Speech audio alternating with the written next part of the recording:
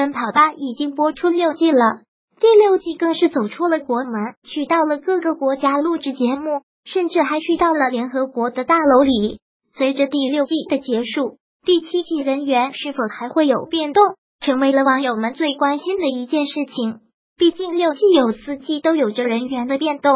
这不得不为第七季的成员是否会有改动产生了怀疑。从第六季结束开始，就一直都在对下一季的录制时间、录制地点、录制嘉宾，还有最重要的还是第七季的跑男团成员会不会变。毕竟从第一季的王宝强到第二季的包贝尔，以及第三季的鹿晗，还有 baby 怀孕的时候换成了的迪丽热巴，已经变化了好多次了。我们都知道，在每一季的收官之战的时候，往常都是跑男团的七人间的对决，或者是每个成员和一个嘉宾一组的对决。然而第六季却是给了我们一个不同的收官之战。这次他们只请了一位嘉宾，那就是魏大勋，并且第一次上跑男还得了一个优秀员工的称号。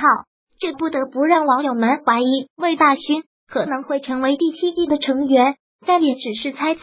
之前有网友爆料说，因为王祖蓝的妻子要生宝宝了，所以下一季的跑男祖蓝将不会参加，要在家里照顾老婆和孩子。但是最近据爆料，第七季将于二零一九年开始录制，依旧还是原班人马的七人，不过有可能还会加入一位流量小生，不过还没有具体确定，毕竟离着二零一九年还有好几个月的时间呢。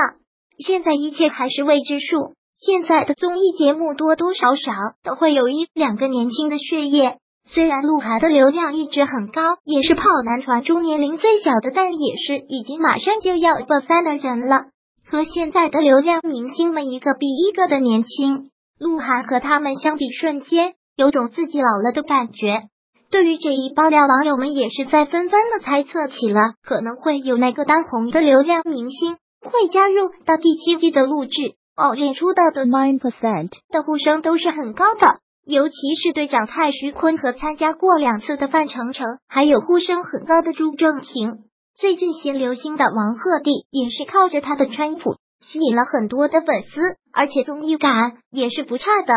至于第七季的成员，大家也是很希望能够看到自己喜爱的偶像演员，也有很多人不是很希望自己的偶像参加。比如最近正火的朱一龙和白宇，现在两人的人气也是高涨，很多节目肯定是希望两人能够上节目提高收视率。但是作为演员，粉丝们更希望他们能够好好的拍戏，不希望他们被消费。对于第七季的嘉宾和成员，你有什么想法呢？